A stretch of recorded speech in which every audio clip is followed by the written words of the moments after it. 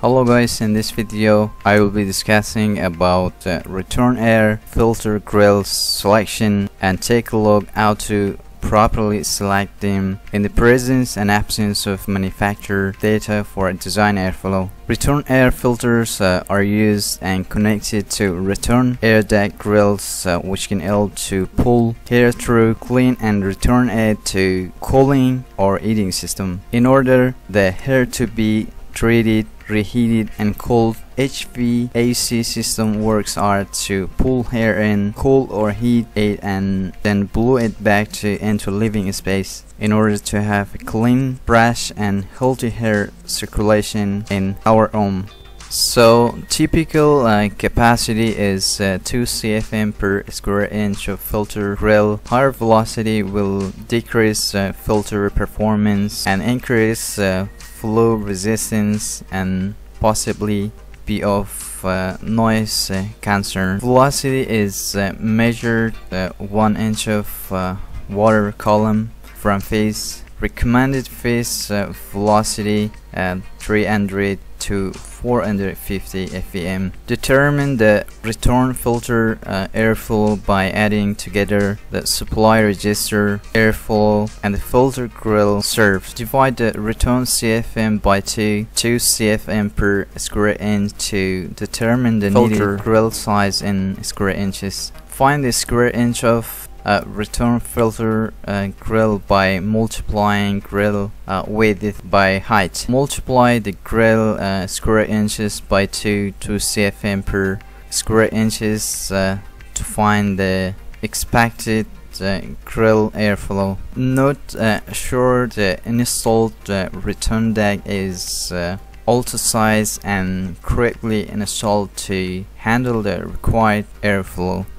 Let's say we have uh, an existing filter uh, grill area of uh, 20 by 25 that we want this uh, filter to pull a 3 ton uh, which is 1200 cfm through 20 inches uh, multiplied by 25 inches equals 500 square inches 500 square inches multiplied by 2 cfm per square inch equals an approximate uh, capacity of uh, 1000 cfm 1200 uh, cfm uh, divided by 2 cfm per square inch uh, equals uh, 6 Android square inches of return filter grill needed. So in order to pull 1200 cfm we need to increase the filter grill size to 20 inches uh,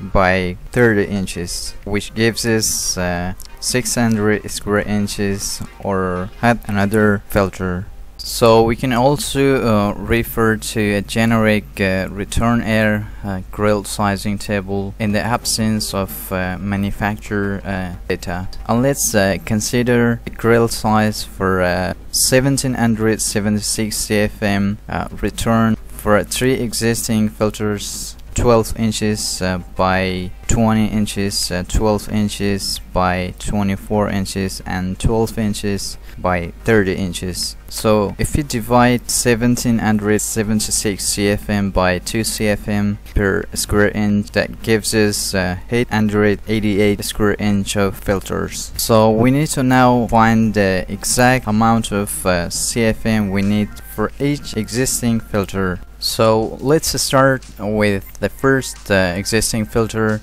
uh, 12 inches uh, times uh, 20 inches uh, equals uh, 240 inches times 2 cfm per square inch we get 480 cfm and then divided by 400 cfm we get 1.2 ton.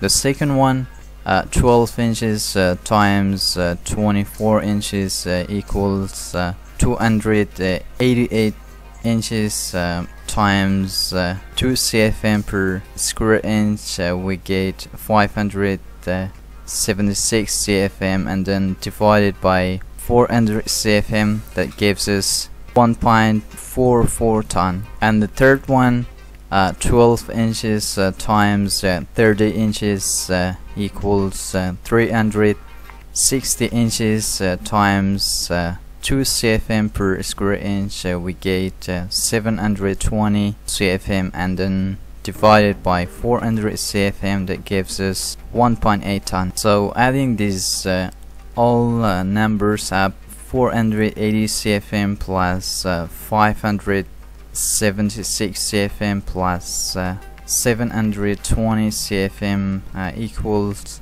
uh, 1776 CFM and then divided by 400 CFM that gives us uh, 4.44 ton. Mm, that means uh, the three existing filters are, are good uh, for the design airflow of uh, 1776 CFM which uh, we're looking for needed uh, filter size. So that's it for today. I appreciate you for watching this video